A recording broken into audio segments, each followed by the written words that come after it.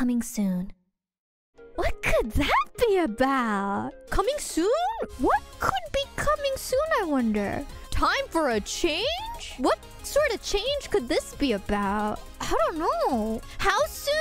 I would say kind of like the sort of coming soon that you would um hear from like movie movie trailers. Let's talk about like, you know, realistic timings and say maybe I see so 2 years. No, no, no, no, not 2 years. Definitely not 2 years. Not. No, no, not not like that, but no, you guys don't have to keep your expectations that low. No, no, no.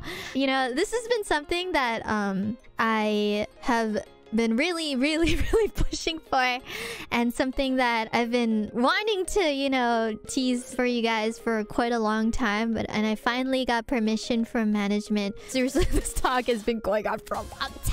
It's been going on for for decades. So, um, yeah, I'm really, really uh hope you guys will be excited for. Also, when when the day comes nearer, I'm sure you guys will find out when the day comes nearer. Not tomorrow. No, let's let's not go on the tomorrow meme, okay?